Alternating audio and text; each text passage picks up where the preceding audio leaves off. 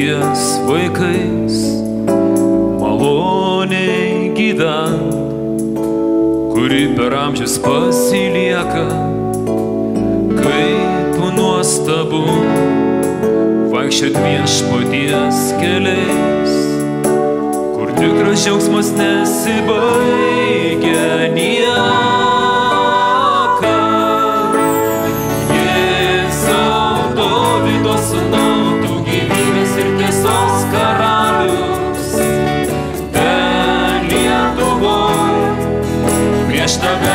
Priklaups kiekvienas kelias. Jėzau, Dovydo sūnau, mes užimsim pažadėtą žemę. Atveski mus į palaimintus naujus metus. Šiandien ir vėl mūsų viešpats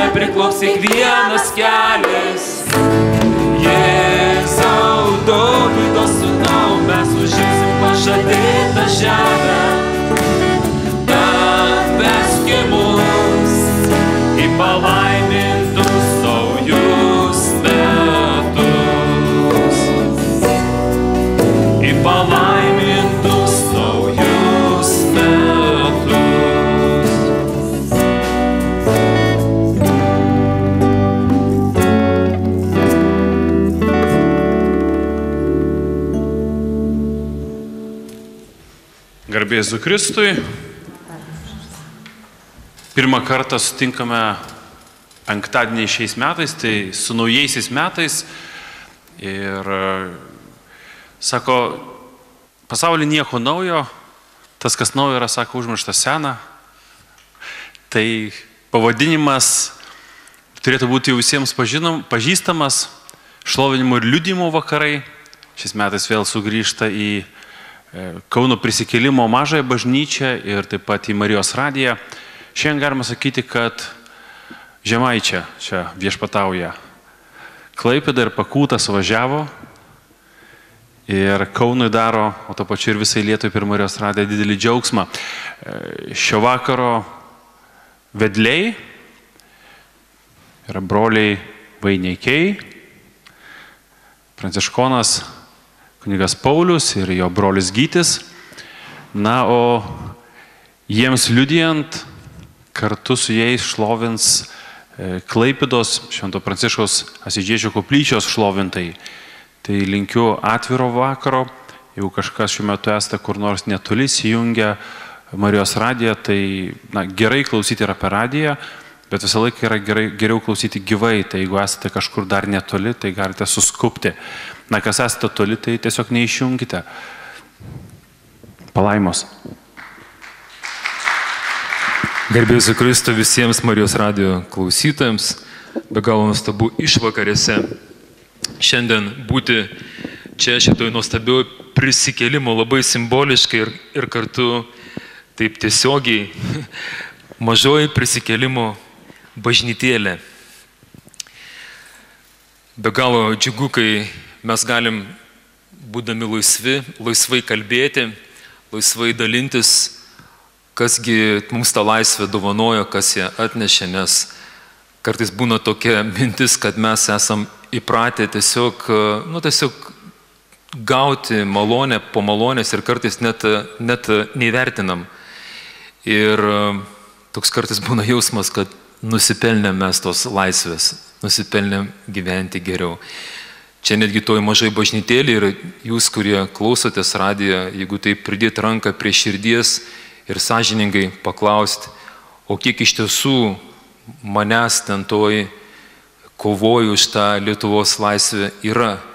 Na, jaunoji karta viskas aišku, mes sakom, mes tik tai gimėm tada, mes tada buvom dar maži, bet štai vat, mano, pavyzdžiui, bendramžiai, arba čia irgi matau pagyvenusių žmonių, Klausimas, ar aš tikrai galėčiau pasakyti, kad nusipelniau tos laisvės.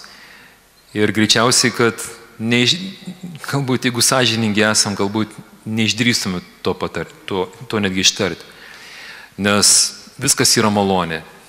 Vieną dalyką, ką mes tikrai esam lietuviai nusipelnę, tai greičiausiai bausmės, okupacijos ir kad Dievas dar gerai, kokį 50 metų mus krėstų į kailį, kaip sako šventas raštas, laikyk tos tautos nugarą nuolat sulenktą, uždėk į jungą, nes kitaip, kai tik tai duodi malonės, taip pat ragai ir uodega užauga. Be galo irgi šiandien džiugu, tie, kurie galbūt nežinojo, tai noriu taip garsiai eterio bangomis pranešti tokią gerą žinę. Šiandien ketvirtą valandą vakaro nuo Lietuvos Respublikos Seimo rūmų pajudėjo didžiulė procesija būtent tų, kurie iš ties kovojo. Tai ir, mes sakom, veteranai, buvę partizanai, kurie, aišku, nebėra tiek jau daug, tie, kurie gynė Lietuvos Seimą, parlamentą, tais uh, niuriais uh, 91 metais tą naktį. Ir ta didžiulė procesija iš įvairiausių patriotinių e, religinių organizacijų, jie su, su Lietuvos tautiniam vėliavam keliavo iki Lūkiškių aikštės ir tenais jie nunešė ir į patį aikštės centrą įdėjo, e, mes tai būtų galim sakyti, na, visų kovojusių ir žuvusių už Lietuvos laisvę e, kankinių buvusių partizanų relikvijas. Galbūt bažnytinė prasme, galbūt to nelabai gal tiktų sakyti, bet mums kaip e, Lietuvos piliečiams, kurie mylim Lietuvą, tas žodis relikvija, tai yra šventas reikalas ir tokiu būdu ten uždėjo tokią nuostabią marmurinę plokštę, kaip ženklą, kad e, Lūkiškio aikštės mes lietuviai ir galbūt tie, kur, kuriuos, mes sakom, ta naujoji galbūt karta bando nurašyti, kad mes nelabai iš, išmanom, kas yra menas, kas yra tautos vertybės, kas yra tautos atmintis. Toks buvo labai gražus žestas šį vakarą. Tie vat, būtent partizanai, tie veteranai pasakė, kad Lūkiškių aikštės netiduosim nei bunkeriams, nei Bruseliams, nei Maskvai, nei Amerikai. Tai yra per daug brangi vieta. Tai štai tokiame kontekste šiandien esame mes su mano broliu Gyčiu ir norėčiau, e, kad dabar paklausytumėt vieno iš tokių kovotojų, kuriam tikrai turėtumėm Lietuvą būti dėkingi. Jam taip pat ir jo draugams. Tai toksai Vytautas, Vytautas Vaineikis. Jo nuostabus draugas, mano krikšto tėvas Edvardas Burokas. Tai tie jaunuoliai, kada iškart po antro pasaulinio karo, kai buvo, ko gero, užslopinta jėga išdavystėmis, ta vadinama ginkluota kova, šie jaunuoliai, jiems buvo tik po 18 metų, 18-19, jie ryžosi vėl atnaujinti kovą. Atrodo, prieš tokią didžiulę galę tie jaunuoliai, jie nenuleido rankų, jie neripavo, kaip viskas blogai, kad reikia bėgti į užsienį, jie būtent darė, darė sprendimus. Noriu, kad jūs dabar paklausytumėt KBB generolo liaudis, tokia jo pavardė, Keliaudis, ataskaita pirmajam Lietuvos tuometiniam sekretoriui Antanui Sniečkui. 1956-57 metai. Respublikos valstybės saugumo organai likvidavo 27 ginkluotų nacionalistų gaujų narius. 13 iš jų buvo nukauta, 4 sučiapti ir suimti, 10 legalizavosi. Agentūrinių operatyvinių čekistų, karinių ir kitų operacijų pasiekoje, atsižvelgęs į sudarytas sąlygas, 1956 m. birželio mėnesį pasidavė vienas iš banditų vadovų - Labanauskas. O spalio mėnesį buvo suimti ginkluoto nacionalinio pogrindžio vadas Ramanauskas ir jo žmona. Šių metų vasario mėnesį buvo gauti duomenys įrodantis, kad grupė prieš laiką paleistų iš įkalinimo vietų bei atbuvusių bausmę už kontrarevoliucinius nusikaltimus asmenų ketino ir toliau tęsti aktyvę antitarybinę veiklą. Šios grupės vadovas Vaineikis bando užmėgsti kontaktus su atlikusiais bausmę asmenimis, kurie dabar gyvena įvairiuose Lietuvos TSRS rajonuose, norėdamas įtraukti juos į aktyvę priešišką veiklą. Tikrinant šios duomenys iš mūsų agentūros ir iš kitų šaltinių buvo gauta žinių, kad Vaineikis turi pistoletą ir radio sistuvą dirbantį vidurinėmis bangomis 300 km spinduliu. Jis ketina panaudoti jį taip vadinamą Lietuvos nepriklausomybės dieną vasario 16 ir perduoti jo pagalbą manifestą skirtą Lietuvos tautai. Be to buvo gauti duomenys, kad Vaineikis, norėdamas gauti pinigų reikalingų jo antitarybiniai veiklai tęsti, ketina įvykdyti keletą apiplėšimų. Antitarybiniams atsišaukimo spausdinimui jis turi spausdinimo priemonės. Atsižvelgus į gautus duomenis buvo nutarta sutrukdyti Vaineikiui įvykdyti savo nusikalstamus kėslus.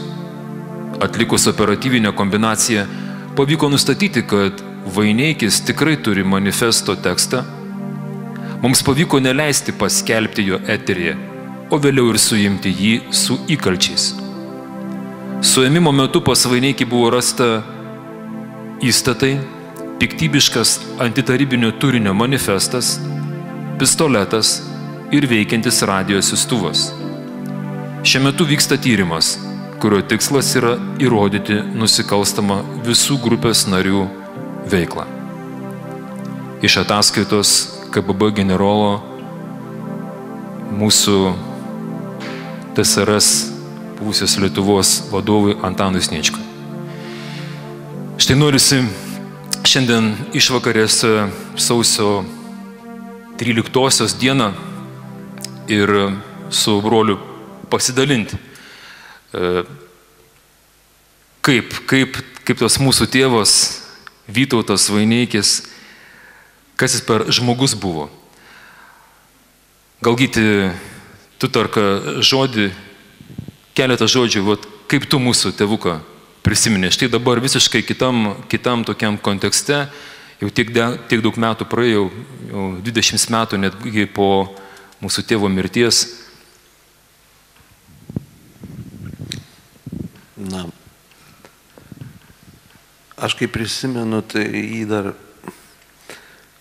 tai prisimenu, Ukmergės rajone, Jėgvilų kaimas. Ir aš mažas ten lankydavaus vasaromis ir čia pas- pasakė apie pistoletą, jo labai gerai prisiminiau, kaip, kaip e, tėvukas pagamino man vieną. Buvau berots trečioj klasiai ir, ir tėvukas turėjo ten stakles, ten turėjo varstotą, turėjo, nu, jis truputį staliavo, prisimenu, tai, tai jis ten ir vamzdį priteis, ir ištekino rankeną tokią, tai aš galvojau, o turėsiu žaislą. Tada lab, būdavo vienas iš mėgiamiausių žaidimų žaisti karą. Žaisdavom, nu, būdami spaliukai būdavom, tai vieni būdavo tarybiniai kariai, kiti būdavo vokiečiai. Vieni kitų šaudydavom, nu žodžiu. Tai tokiam tikslui pagamino jis man tą pistoletą, pasirodo ten ir mes jį išbandėm. Išbandėm, nu, jisai tokių patrankos principų, prikiši kokio tai sieros parako ir uždegė ir galima šauti. Tai ten užtaisė su tokiu popieriaus lapeliu ir įstatė į varstotą, prisimenu šūvis ir, ir, ir išmušė ten stik, stiklę tokią skylę. Tai paskui labai labai daug metų, jau dabar netgi po, po daug metų, netgi kaip tėvas jau iškeliavo ir, vat ir Staselė, tėvo žmona iškeliavo ir, ir, jau, ir jau sodyba, jau, ir dar nuėjau ten tuose griuvėsiuose, dar tų, tos, tos, tos dirbtuvės griuvėsiuose, dar radau dar tą stiklą su, su ta pačia skylė. Va, bet tai labai įdomiai prisimenu, kad aš tą pistoletą nusinešiau dar trečioji klasė į mokyklą ir, ir tokia va, patirtis buvo tokia, kad mokytojas prieina ir sako, o, kas čia pistoletas? Nu, sakau, pistoletas, o tai kam šitas kilutė? O ką žinau, sakau, kam tas kilutė? Nu, jis tai turbūt žinojo, kad ten reikia uždegti ir kad gali šauti. Nu, tai man, mane prisimenu išstato prieš visą klasę ir sako, tai gerbimi vaikučiai, susipažinkit, va, bandito vaikas. Na, aišku. Nu, tai tokį prisiminimą turiu. Paskui turiu dar vieną prisiminimą, vėlgi iš, iš tėtis toksai mė- mėgėjas būdavo man žaislų pagaminti iš paprasčiausio rakto ir vinies.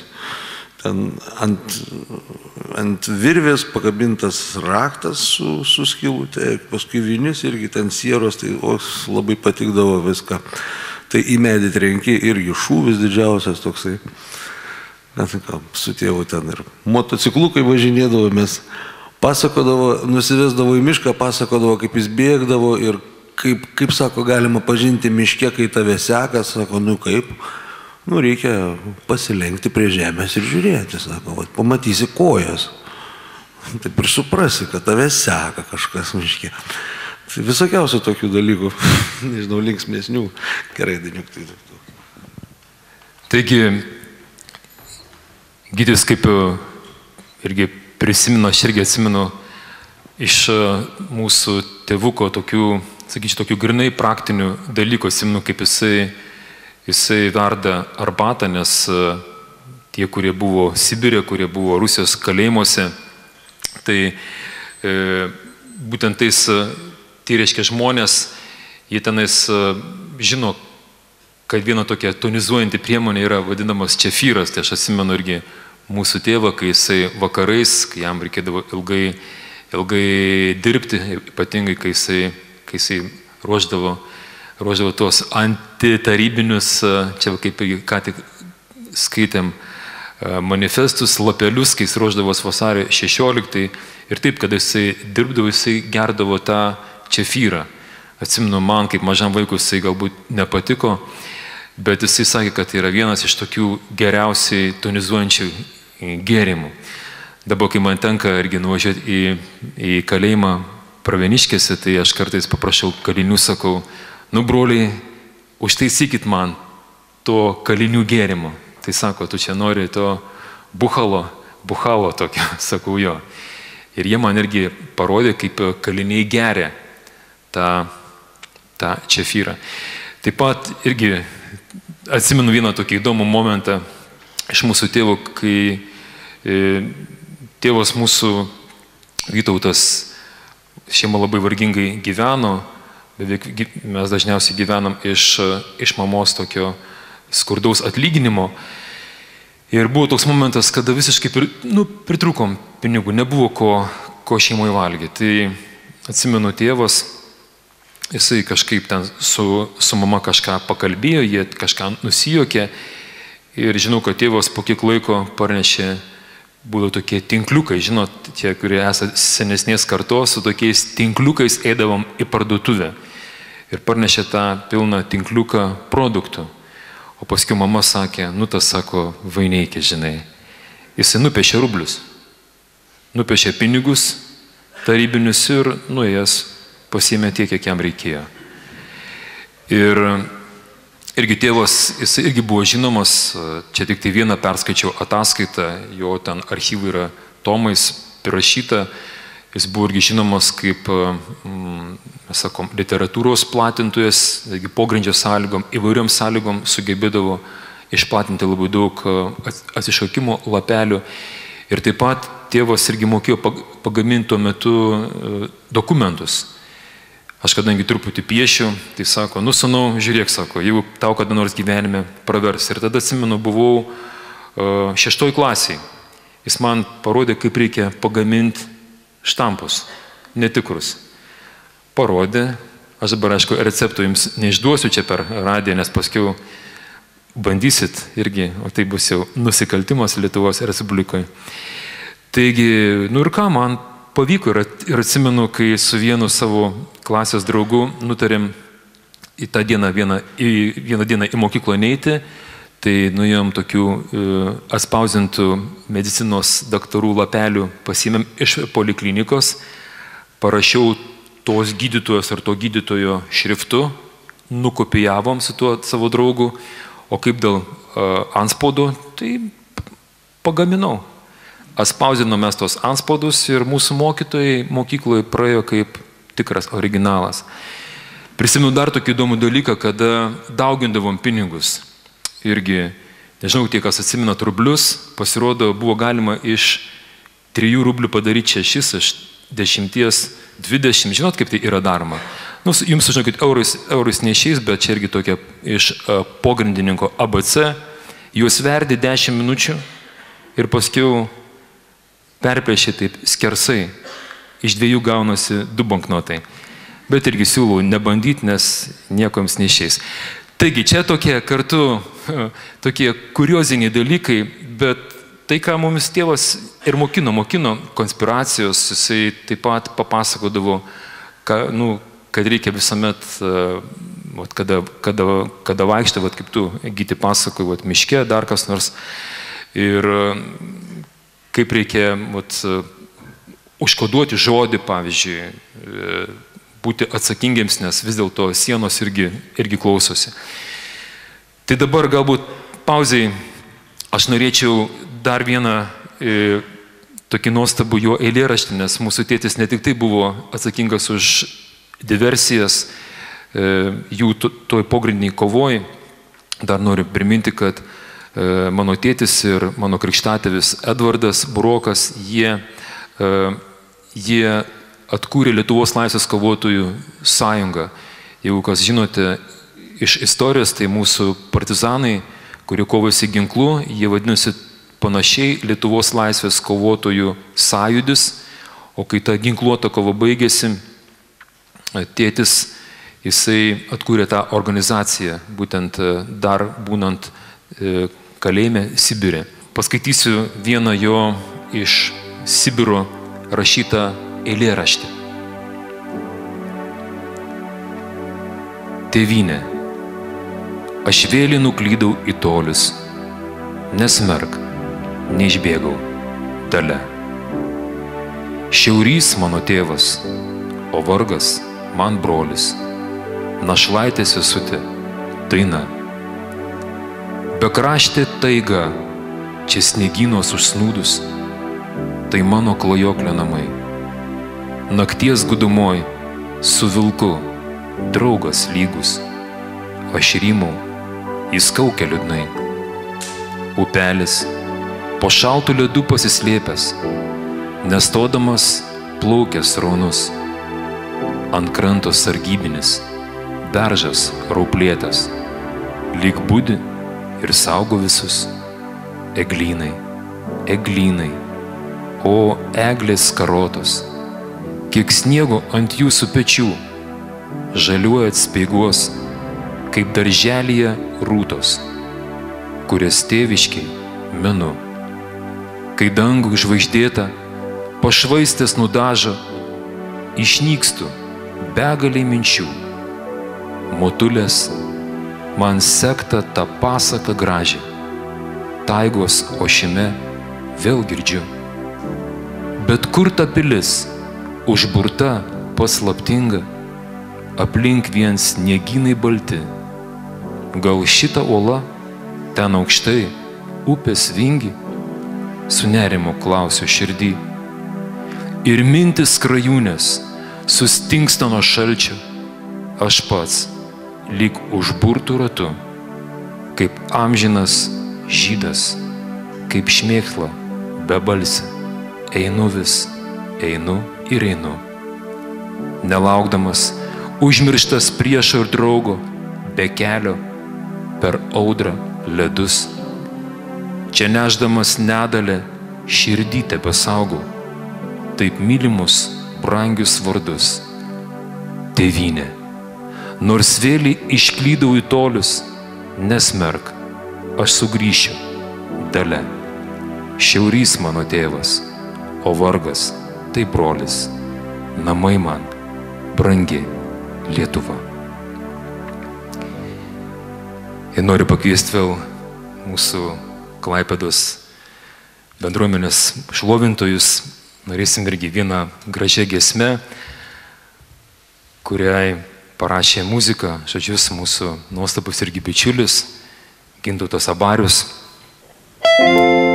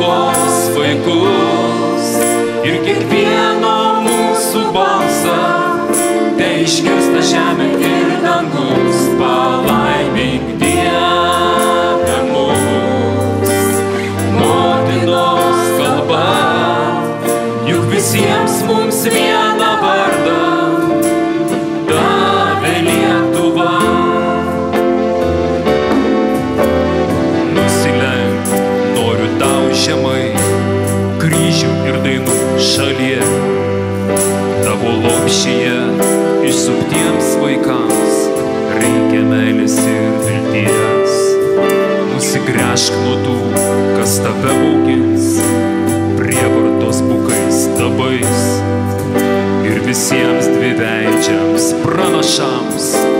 Baimė ir plastas atleis. Iš visų kraštų ir visais keliais skubam apkabinti tave ir mūsų darbus telydės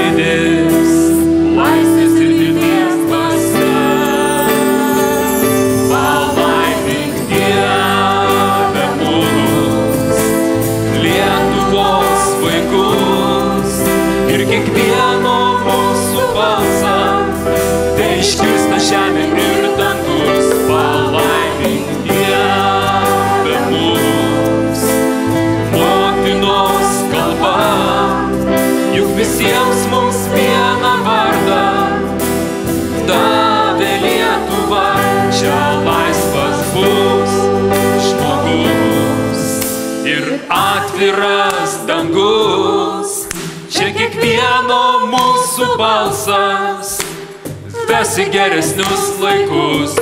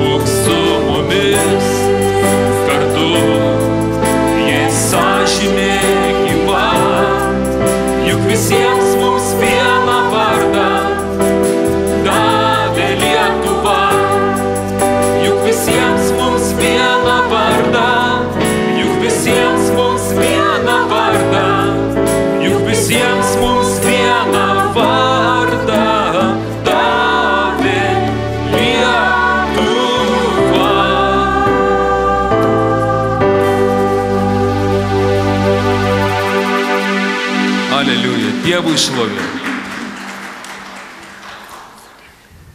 Toliau norisi pasidalinti su jumis dar vienu aspektu ir apie mūsų, tai mes sakom, tėvuką mes taip vadinam šiaulietiškai, mūsų tėvukas. Dar kartu su Gyčiu norisi papasakoti, kaip, tai, kaip jie būtent ėjo į tą laisvės kelią. Štai vienas iš tokių laiškų, kuris įrašė savo bičiuliu mano krikštatėviui Edvardui Burokui, jis taip ir vadinasi laiškas iš šiaurės Edvardui Burokui. Edva, sveikinu iš šiaurės. Kodėl? Kaip čia atsidūriau? Ar padariau dar vieną kvailystę, tariant tavo žodžiais? Neaiškinsiu, nes tame pačiame vokė siunčiu laišką Onai, čia mūsų mamai. Kadangi neturiu kito voko, o greitų laikų nežinau, kada bus proga pačiam pašto rūmose pabūti. Tad permesk žvilgsniu jai skirtą laišką. Maždaug orientuosios, kokių vilnių aš šitos snieginus atsibašiau. Šitame laiške tėtis, kada rašydavo savo mamai, taip pat mūsų su Gyčiu e, motinai Onutai, tuose sveikinimuose būdavo informacija. Tėvas užkoduodavo tarp e, tam tikri žodžiai, būdavo taip išdėliojami, kad e, čia, čia kai rašo, būtinai perskaityk Onutai skirtą laišką, nes tenais būdavo išaiškinti kolaborantai, išdavikai, būtent Sibirė, sužinodavo visą informaciją kalėjimuose, kas išdavė partizanus. Taip jie, taip jie e, sugebėjo pristabdyti tų išdavikų tinklą. Toliau tėvas rašo, dirbu su lauštuvu, kirviu pjūklų, kastuvu, didelę kuvaldą. Visą darbo dieną gražumėlėje gamtos. Dabar statomės stovykloje pirti, kad utelės neužpultų. Šalčiai krito šiomis dienomis traukė iki 43-46 laipsnių.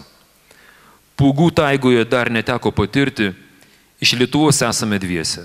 Aš be tautybės, o antras žemaitis. Ekspedicijos grupėje 42 žmonės, 4 šunys. Stovykloje du barakai surešti iš skydų ir eketė upėje, vietoj šulinio. Pirti pasistatysime bus tikras miestas. Darbė užmirštu viską, net ir tai, kad noriu valgyti. Kiek uždirbsiu, dar nežinau. Sveikata jokinga, kaip ir aš pats. Kol bastysiuosi toje taigoje, užsibrėžiau rašyti stambios apimties šedevrą. Kaip pavadinsiu, dar nežinau. Bus kažkas panašaus - baltos naktis ir juodosios dienos. Kaime loja elniai, ašaros virsta ledu arba tavo pasiūlyta mintis, tas veikalas galėtų atrodyti taip. Dar viena kvailystė. Jau 23 puslapiai pritaukšti. Užsijimu ir poezija. Trumpai kalbant, į sveikatą eina staigus klimato ir aplinkybių pakeitimas. Pradedu jausti, kad aš dar žmogus. Galiu galvoti, kurti, ryštis. ir špygą per kišenę kam parodyti, o tai jau visai buvau užgujimams atsidavęs. Vienu žodžiu, skiemenuojant garsiai skamba egzistuoju. Jums ten poniškėjantiems, aš proletaras daugiau ką nors įdomesnio šiuo kart neturiu ką parašyti. Prisiminimui apie idiotą Vytą siunčiu tau keletą eilių. Štai toksai mano tėčio laiškas e, jo ištikimam draugui, bičiuliui Edvardui Burokui, su kuriuo ir dar didžiulė grupė ištikimų jo draugų. E, jie, e, kurie įkūrė Lietuvos laisvės kovotojų e, sąjungą tenais Sibirė, kalėjimuose, gulagose. Jų ten iš tiesų buvo apie keli šimtai, labai įslaptinta organizacija.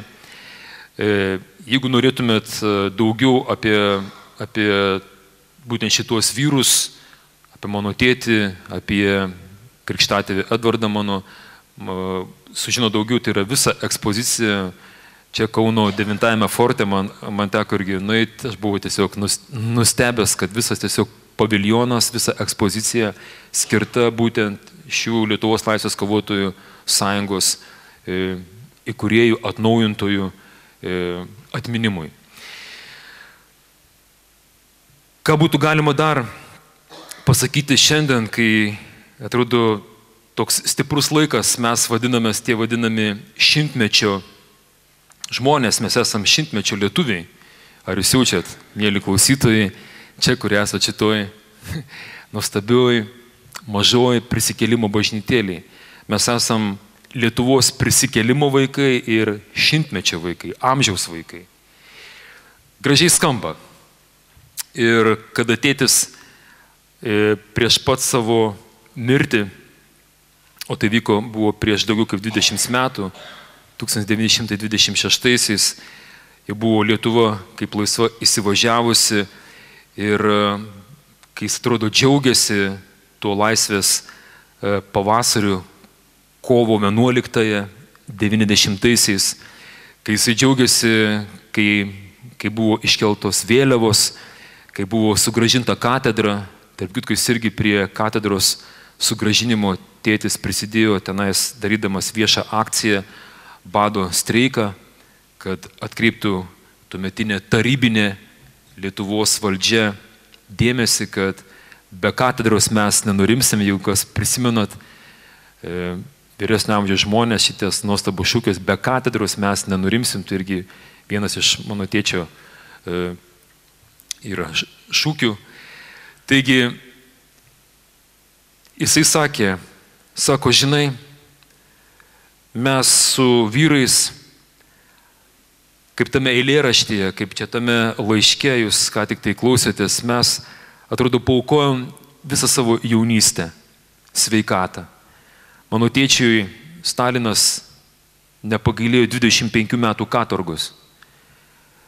Jisai po 15 metų, sakyčiau, stebuklingų būdų, jisai grįžo į Lietuvą po Stalino mirties. Bet va tą visą laikotarpį, kiek atrodo, jisai patyrė ir kankinimų, fizinių kankinimų, jam ir e, kankinimų metu jam į panagės kišo adatas, jisai paskiau rodė, tie randai liko jam visam visam gyvenimui.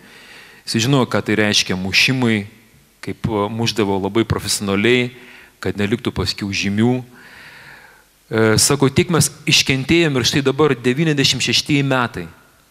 Sako, nu netokia, mes, nu, mes ne už tokią Lietuvą kovojam. Jeigu dabar klausotės radio bangomis, turiu vilti, kad esate tos tyros sąžinės, tos švarios sąžinės žmonės, tai va tą ranką pridėjus prie širdies, paklauskim, ar tikrai mes svajojom apie tokią laisvą Lietuvę, Lietuvą, kokią turim šiandien? Bent jau iš mano bičiulių, iš tėvo senųjų kovų draugų, aš ne vieno iš jų negirdėjau kad jie būtent už va tokią Briuselio laisvę kovojo, kad jie kovojo už tokią amerikonišką laisvę.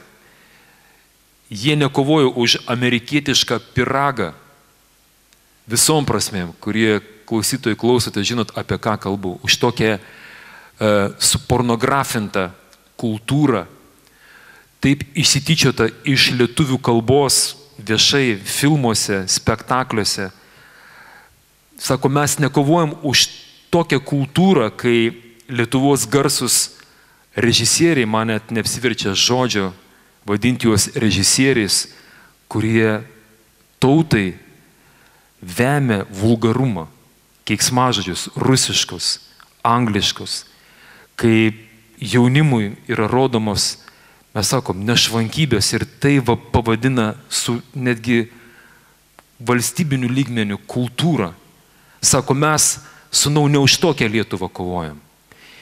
Ir tada, kai jis buvo jau paralyžiuotas, kai tada slaugos namuose jį beveik laikiau ant rankų, jisai dar atsimenu, iškėlęs ranką, paskutinę tą dieną, kai jisai numirė, iškėlė ir sukalbėjo dar vieną eilėraštį. Ir tas eilėraštis iš paskutinių jėgų, tai buvo kaip tas, va, tas pranašo šauksmas, kad už naują Lietuvą, už tikrą Lietuvą. Ir jo tie žodžiai pasakyti man, sako, sunau, Gal mes netaip kovojam. Gal mes ne ten akcentus dėjom. Tu, kuris esi dabar vienuolis, tapsi kunigu, dar aš tada mokiausi, sako, tu pabandyk sunau, gal tau pavyks. Gal tau pavyks sugražinti Lietuvoje, atkovoti Lietuvoje tą laisvę, kuri nepavagiama, kuri neišduodama. Ta laisvė su galbūt kitom pamatiniam vertybėm. Ir norisi, kad šiandien būtų ta geroji žinia paskleista Marijos radio bangomis, va šitose nuostabiose patalpose prisikėlimų bažnyčiai. Norisi, kad Dievas tuos žodžius dabar girdėtų kaip, kaip malda ne tik mano, kaip malda ne tik tai galbūt mūsų čia, kurie esam šitoj bažnytėlį, bet malda visos tautos. Mes norim laiminti Lietuvą. Kaip toj gražioj gesmiai. Palaimink Dieve mūs, Lietuvos vaikus. Tiesiog pradėti tą Lietuvos laisvę, tai kas buvo duota kaip startas, va tada sausio 13, tie tankų šūviai, tie tos e, kalašnikovų serijos, tie sprogmenis paketai, tasai žmonių šūkmai, tas motorų gaudimas, tie klyksmai, tie pervažiuoti tankų kūnai, visa tai tarsi kaip, nežinau, kaip būtų galima sakyti, kaip pergalės ferverkai, žinau, šūksniai, kad e, visas tas startas, kuris buvo duotas, mes juo pasinaudotumėm. Tie žmonės, kurie dar turi sveiko blaivaus proto, kurie neparsidavė, vėl noriu pasakyti, ES Briuselio propagandai, tiems amoralumams, kurie neprasidavė Maskvai, kurie neprasidavė Amerikai, kuriems yra brangus Lietuvos suverenitetas, tiems, kurie puoselėje tą nuostabiai išgražintą lietuvių kalbą. Tiesiog pakilti kovą ne su kritika, net ne su ginklais, net, net ne, su ta, ne su tuo pistoletu, kurį rado pas mano tėvą, kuris iš tiesų ir nei vieno žmogaus ir nenušovė. Ne su patrankom, ne su NATO, bet būtent su palaiminimo malda. Tiesiog nuo šios dienos, nuo šio vakaro kviečiu visą visą tautą, kaip toj irgi nuostabiaus, toj nuostabioj e, bražionio dainoji, kurią muziką sukūrė Barius, šaukiu aš tautą, nuodėmės užguitą.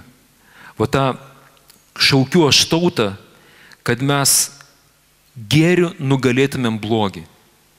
Kad visas tas darbas, kurį pradėjo mano tėvas, krikštatėvis, jūsų artimieji, kurie čia esat, tie partizanai tos nuostabios mergaitės, merginos, kurios miškuose kartu su vaikinais, partizanais, jie svajojo, jie gėdojo. Netgi tie, kurie esate jauni žmonės ir kurie esate už tą apgailėtiną bunkerį Lūkiškių aikštėje, aš noriu pasakyti, kad pasiskaitykit jaunimo, tų būtent partizanų, kurie bunkerėse buvo, pasis, pasiskaitykit jų dienoraščius. Jie sakė, norim pamatyti Vyti, norim pamatyti Vyti Vilniuje. Ir tai nėra, ir tai nėra melas, tai nėra žiniasklaidos, tos mes sakom, parsidavusios žiniasklaidos, ne visos, bet parsidavusios žiniasklaidos melas, kad mes nežinom, už kokią Lietuvą kaunamės. Bet būtent šitų visų nuostabių vyrų, merginų, žuvusių, nukankintų, sušaudytų, išniekintų, jų atminimui. Tiesiog pradėti naują laisvės kovą, nugalėti blogį gerumu, kaip, kaip sakė viešpats Jėzus, kaip po to perėmė jo šitą žodį palaimintas Jurgis Matulaitis, nugalėti blogį gerumu. Nugalėti blogį gerumu ir laiminant, laiminant netgi mūsų priešus. Sako viešpats, nekeikit, bet laiminkit. Ir tiesiog kviečiu visą tautą, šaukiu tai tautai, kad e, ši sausio 13, taip pat vasario 16, kuri netrukus bus, paskui kovo 11, kad to šimtmečio, šito nuostabio jubiliejaus proga visą tautą susivienytų maldai. Nebe kritikai, nebe palaiminimams, nebe, nebe e, kaltimas, bet palaiminimams. Kad mes nuo pačio mažiausio iki pačio vyriausio žmogaus galėtumėm pastoviai mūsų valdžiai, miesto merams, visiems, kurie buvo išrinkti demokratiškai, tiems seimūnams, tiesiog sakyti, Dieve, laimink tave, aš melžiuosi už tave, laikykis, broli, neparsiduok, neparsiduok pinigams, neįsigask Bruselio, neįsigask ES, neįsigask Amerikos, neįsigaskit Maskvos, nes viešpas tą mūsų tėvynę Lietuvą myli. Tas pralietas kraujas šitų vyrų, kaip mano tėvo, krikštatėvio Edvardo, tų Lietuvos laisvės kovotojų e, sąjungos, sąidžio dalyvių, kurių dabar liko labai labai nedaug, kad e, mes visi kartu kitais metais, 2000 galbūt 19, pamatytumėm kitokią Lietuvą. Be alkoholizmo, be narkotikų, be pornografijos, be tam tikrų valstybinių struktūrų e, savivaliavimo, kad mes matytumėm Seime, kai vyrai ir moteris melžiasi prieš pradėdami darbą, kai Lietuvos prezidentas arba prezidentė nesigėdėja Jėzaus vardo viešose vietose, kad mes visi kartu galėtumėm ištarti Lietuva bus laisva. Amen, aleliu ir noriu pabaigai pakviesti vėl mūsų šlovintųjų grupę, kad mes galėtumėm sugėduoti tokią nuostabią maldą. Tegul tai būna pranašiška gesmė, palaiminimas ir palinkėjimas visiems, kurie pradedam švesti šį sausio 13-osios atminimą ir šio šimtmečio jubiliejų.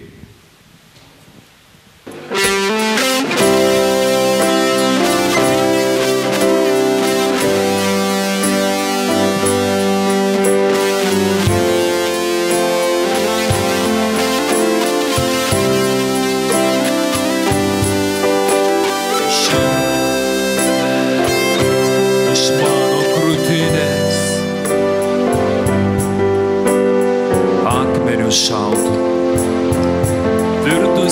tik tavo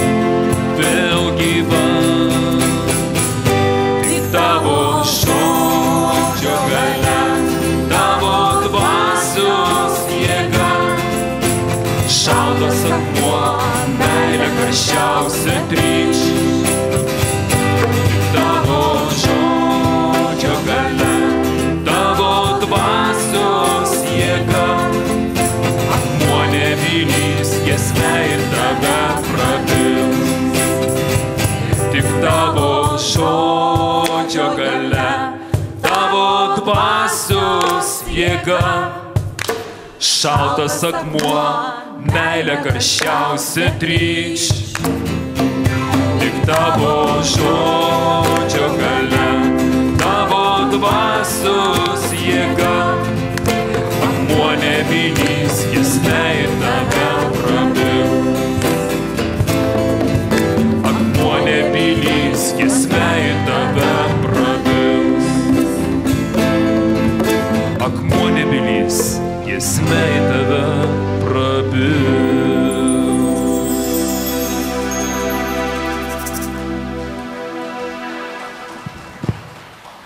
Kągi, tai šiandien sa- savo istorijomis ir savo šeimos ir Lietuvos istorijomis dalinosi broliai Vaineikiai, Paulius ir Gytis. O šlovino Klaipėdos Švento Pranciškaus Asižiečio koplyčios šlovintojai. Tai, tai Dievas laimina mus ir mūsų šalį. Aleliuja.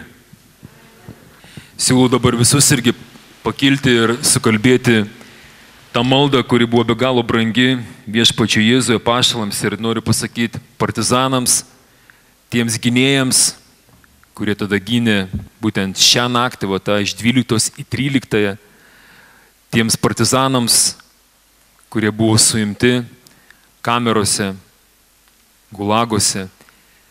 Tai malda, kuri teikia viltį ir kuri juos išlaikė gyvus. Vardant Dievo Tėvo, Sūnaus ir Šventosios Dvasios. Amen. Tėve mūsų, kuris esi danguje, te esi šventas tavo vardas, te ateinie tavo karalystė, te esi tavo valia, kaip danguje, taip ir žemėje. Kasdienės mūsų duonos duok mums šiandien ir atleisk mums mūsų kaltes, kaip ir mes atleidžiame savo kaltininkams. Ir neleisk mūsų gundyti, bet gelbėk mus nuo piktojo. Kviečiu,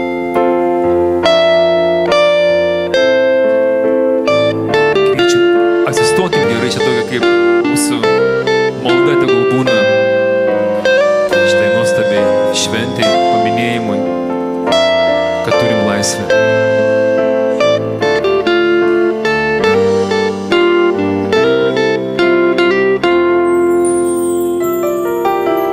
Nusilenkt noriu tau žemai, girių ir dainų šalyje, tavo lopšyje išsuptiems vaikams duok ramybės ir vilties. Nusigręžk nuo tų, kas tave vilios, laimės netikrais vardais ir visiems dviveidžiams pranašams melą ir klastas atleisk. Iš visų kraštų ir visais keliais skubam apkabinti tave ir mūsų darbus telidės laisvės ir vilties dvasia. Palaimink Dieve mus, Lietuvos vaikus ir kiekvieno mūsų balsą. Te išgirsta žemė ir dangus, palaimink Dieve mus, motinos kalba, juk visiems mums vieną vardą Lietuva. Nusilenk, noriu tau žemai, kryžių ir dainų šalyje, tavo lopšyje išsuktiems vaikams reikia meilės ir vilties. Nusigręžk nuo tų, kas tave baugins, prievartos bukais stabais ir visiems dviveidžiams pranašams baimė ir klastas atleisk. Čia laisvas bus žmogus ir atviras dangus ir kiekvieno mūsų balsas ves į geresnius laikus, būk su mumis kartu, jei sąžinė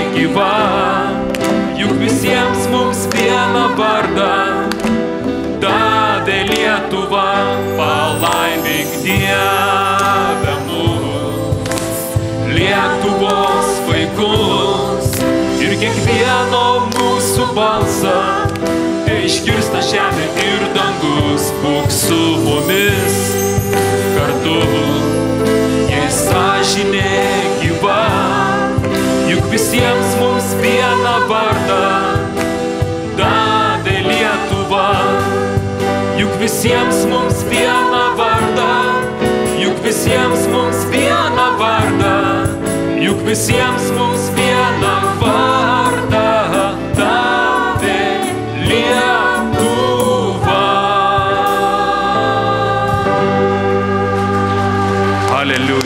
Aleliuja, Dievui šlovė.